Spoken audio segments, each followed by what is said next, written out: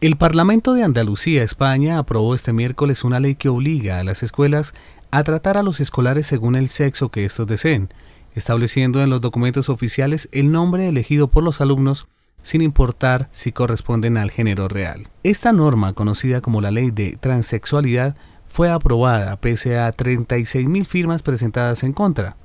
El proyecto de ley integral para la no discriminación por motivos de género y el reconocimiento de los derechos de las personas transexuales de Andalucía fue aprobado por el PSOE, Izquierda Unida, Los Verdes y el Partido Popular. Ignacio Arzuaga, presidente de Aste Oír, declaró que la ley andaluza de transexualidad es un despropósito liberticida y anticientífico trata de imponer a la sociedad que toda una comunidad escolar se tenga que plegar a las exigencias de un menor o sus familiares en función de un derecho especial debido a una supuesta transexualidad.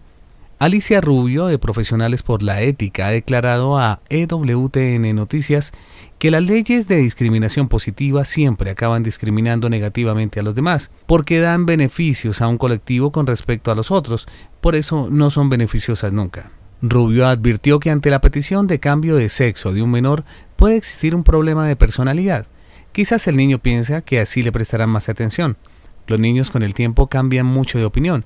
Quizás pueden decir que es una niña porque le gustan las cosas que hace su hermana o porque a su hermana le hacen más caso que a él. Las razones pueden ser variadísimas, señaló. Recordó que los niños sin duda no tienen la personalidad formada, por eso no se les puede hacer caso con todo lo que no significa que no se cuide al niño, se le trate de hacer lo más feliz posible, pero hay que tener cuidado con determinadas cosas. Rubio propuso tener un trato neutral con el menor para que se sienta bien, pero sin tener que imponer socialmente nada, ni tampoco comenzar tratamientos hormonales prematuros que son perjudiciales para el menor. Arzuaga expresó su sorpresa al conocer las declaraciones de la diputada del PP Esperanza Oña, para quien hay que desmitificar las operaciones de sexo, porque es poner orden donde hay desorden.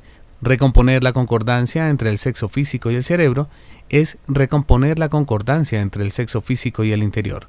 Según la ley aprobada, si un niño se siente una niña o su familia considera que se realizará mejor siendo una niña, la Junta asumirá que el cambio de identidad es la mejor solución para el menor y organizará todas sus relaciones para que no tenga otra opción que la de cambiarse de sexo.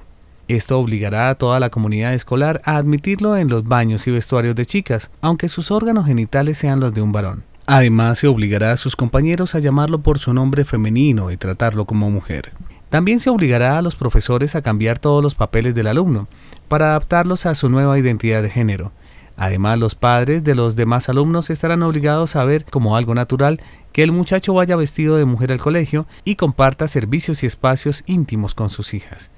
También se preparará al menor para el cambio de sexo, un proceso que culminará con tratamientos hormonales y con la operación quirúrgica de cambio de órganos genitales. Todo esto supone también un gasto tremendo, pues en el año 2012 para cuestiones de género se repartieron 3.2 millones de euros desde el Instituto de la Mujer.